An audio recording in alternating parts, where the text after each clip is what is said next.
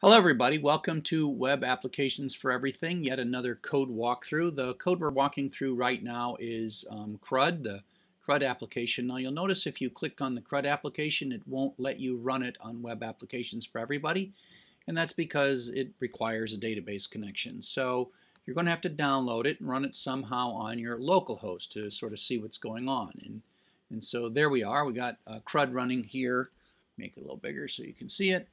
Um, because it has to be set up.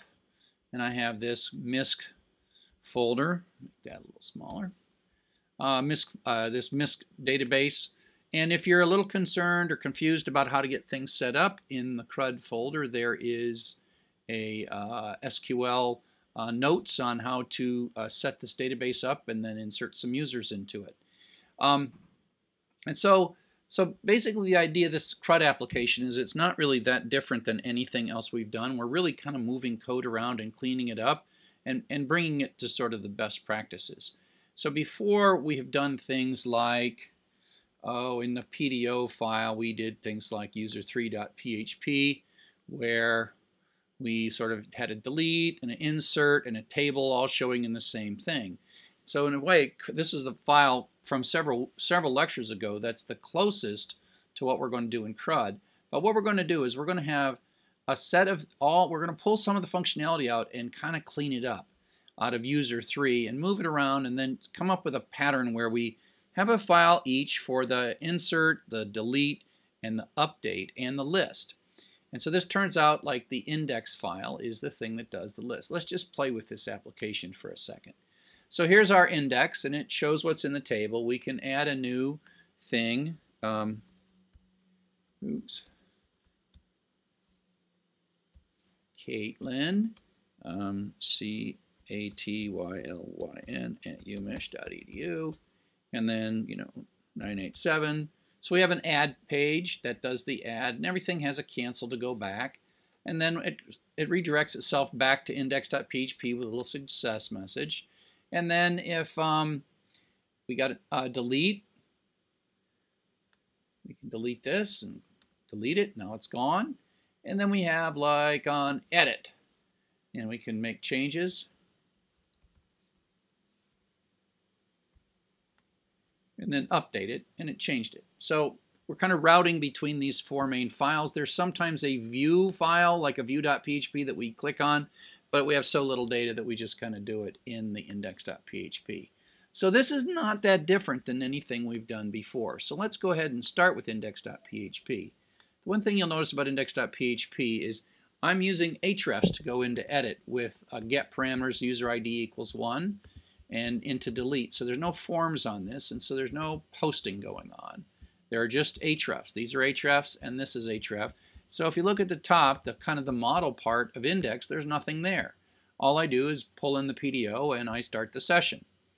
And then I have flash messages and pretty soon this is going to, it won't take long, I'm going to stick these in a utility file and just include them. But basically they check to see if there is a kind of a residual from whatever previous thing was executing, if there's an error or a success, printing it out and then deleting it to implement the flash pattern. This table is pretty much code we've done before. We make a table, we make a row, and then we make one, two, three, and then the fourth column is this edit slash delete. And all we do is we put an anchor tag in, edit.php with a, with a query parameter, user ID equals the primary key of the user ID, and that's the edit text, and then the delete.php, and that's the ID equals and the delete text. And so that's how we end up with hrefs. And then we just go to add.php to go to add new. So let's take a look at the add code. This yellow stuff, this is just my browser. I wish I could convince the browser to stop doing that. That's the browser pre-filling stuff in. And the add code is kind of like um, the user3.php code. The, it's got some post, intelligent post code. Um, you know, it requires PDO PHP, session start, gets things going and then it has a, it's not doing a very good job, but here's the beginning of the view. It's not got a doc type or HTML, sorry about that. But it does check to see if there's an add flash, and we'll see when, we'll, we'll use that in a second. And then we just have a simple form, and then we have a cancel. I'm just making the cancel be a href rather than a fancy button. Now, if we take a look at the postcode, this postcode does a bit of data validation. Now I'm finally doing some data validation. And, and this is the model code that says if there is these three variables that are in the post, you know, a, a at a.com, and a is the password. If those are set, first we're going to check to see if the name or password uh, is less than one in terms of length. And if that's not true, then I'm going to say missing data. Oh, so let's let's execute. And then I'm going to redirect, right? Set an error, redirect back to the script, and then quit so we don't fall through. So we're going to be doing that all the time. So let's let's send bad data, and here we go. So if I do a view uh, developer console on this and take a look at the network tab, and let's make another mistake. Get rid of that, get rid of that, you know, blah, blah, blah, but we'll keep the rest of it blank, and we're just going to say add new. You'll see that it does a post to add.php, and then it sets the error, and then it does a redirect back to add.php, which immediately does a get to add.php, which is what then gives us back this page with missing data, right? So that comes out. So that's a post redirect, and this is a error checking, a data validation error checking uh, post redirect, and that's that's exactly what we want. We're going to check to see if there is an at sign in the middle of the email, and so if we we have non-blank stuff here, um, right? But there's no at sign here. It's going to complain. It's going to come. It'll make it through these strlens, but it won't make it. So this is my pattern data validation, looking good. Check this one, looking good. Anytime you quit, just quit, right? There are other ways to do this, but I try to make my data validation kind of in a protector pattern where I'm not going to let you go any farther. I'm out of here if something's bad. So this one's going to say bad data with a post a post redirect. And if everything is fine, it does an insert using PDO with key with the uh, substitution parameters, name, email, and password. We prepare the statement. One of the things is you don't put debug print in here because we're still above the line and so we don't get to print the SQL out. I tend to, to uh, it's a little harder. You can print this stuff out, but then you don't want to, you want to sort of comment out the header um, because you want to be able to see the output if you're debugging in here. But we just do the insert. We've done this before, and then we put a success message, and then we go to index.php. So we're doing controller function to go there. So x, x at y.com and some password and we hit new and so it redirects and goes back to index.php and index.php has a success message and because it's been wiped out at the end we hit refresh or get and that message goes away but the data doesn't go away the data is still there so that's the flow for insert so let's do delete next so delete remember it just is a href coming out right here. It does an href user ID equals and then the primary key. Now let's take a look at the delete code. So here's our model, so we're going to ignore that. Now we are going to check to make sure that the user ID we've been given is correct. So if I don't, if I somehow can find my way to delete.php, it says missing user ID, sets an error and goes right back to index.php. So somehow that didn't work well. But if it's a URL that we constructed, the user ID probably is in there. So then it's going to demand that. Then it's going to do a select where the user ID is whatever this number is, 8 in this case. And if we don't get a row, then we're going to say bad value for user ID. So if I do user ID equals, come on, 800, it's going to say bad value for user ID and then redirect to index.php.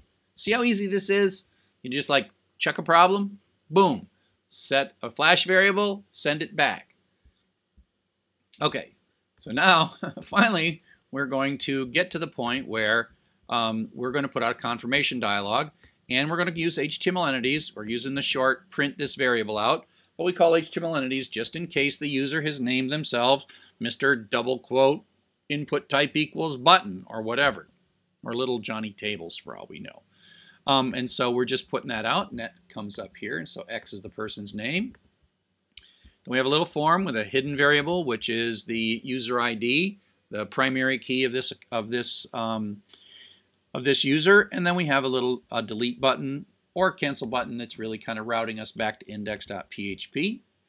Um, but then the post comes in and the, we, we post the delete. We're checking that's the delete that comes from the submit button, right? Post sub delete, the name. So if, if set post sub delete, that really means that delete button was pressed and there is a user ID. We want to double check these. Don't, don't skimp on these. Check for everything you're going to use because the last thing you want is some kind of a trace back in here. So just double check stuff. This kind of guardian pattern is what it's called to make sure that we don't run code when we're not sure the post is set.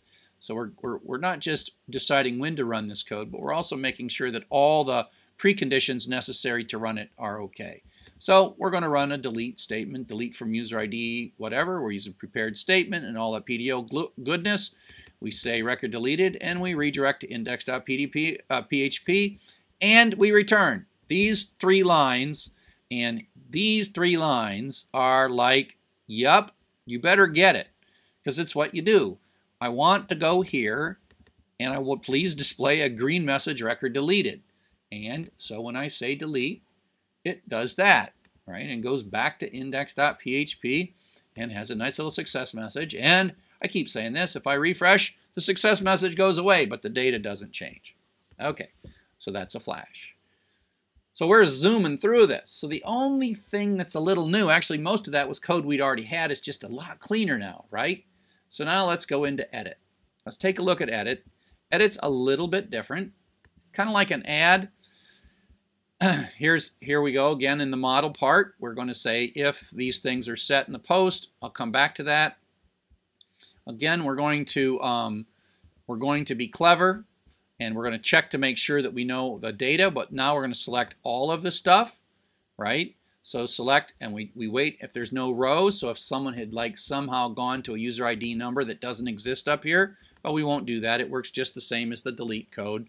I probably just grab this code right here from the delete. Looks like it's exactly the same as the delete code.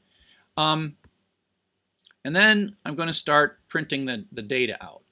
And so I'm going to I'm going to use a little uh, I'm going to do HTML entities row sub name, email, and password, and put them in the variables n, e, and p, and pull out the user ID. That's just to make this a little more con concise. Here's some HTML with some little bits of PHP variables being dropped in for the existing old values. Now I've already called HTML entities on these three, so they're okay, so we're, we're safe.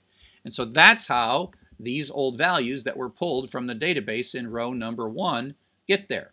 Now, I'm sitting here waiting, and I'm going to say uh, Chuck, right? Chuck, and I'm going to do a post, and then the post is going to come in here. So this is the first time we've seen an update, but it works just the same as anything else. It's exactly as you would type update users set column equals placeholder comma, column equals placeholder, column equals placeholder, where user ID equals placeholder. Then we prepare that statement, and then we execute with the data from the post. And of course, this is uh, solving our problem of SQL injection because we're using prepared statements in PDO. And we should, in time, we'll put error messages here, etc. But for now, this is mostly going to work unless it blows up because we have a syntax error in the SQL, which we don't.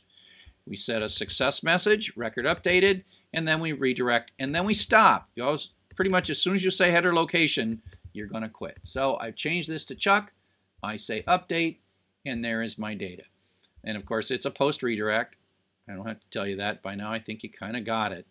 Edit, we do post to edit, get no response, but then it redirects, and then it, it gets this thing back. So that's pretty much it, right? That's pretty much the CRUD code. It, it's not that, compared to everything else we've done so far, it's not all that new. It's just coming up with a nice organization for the code so that we can make sense of it and not make these uh, applications too complex. So I hope this was helpful, and I hope the rest of the code walkthroughs have been helpful, helpful as well.